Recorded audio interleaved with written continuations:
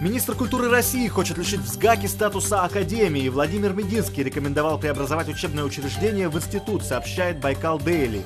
К этой инициативе настороженно отнеслись работники Академии. Они недоумевают о причинах и предрекают большую бумажную волокиту. Почти тонну незаконно выловленной рыбы обнаружили сотрудники ГИБДД, сообщает Информполис. Больше всего браконьерской рыбы было обнаружено в Кабанском районе. Там были задержаны пять автомобилей, водители которых перевозили омуль без соответствующих документов. Сейчас им грозит уголовное дело и огромный штраф. Самые закредитованные граждане России живут в Бурятии, Хакасии и Амурской области, говорится в исследовании Национального бюро кредитных историй.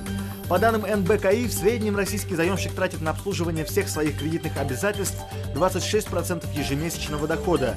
Но есть заемщики, которым ежемесячно приходится давать более 60% своей зарплаты. В республике Бурятия доля таких заемщиков составляет почти 20%, при том, что средняя заработная плата составляет всего 20 600 рублей, сообщает «Новая Бурятия».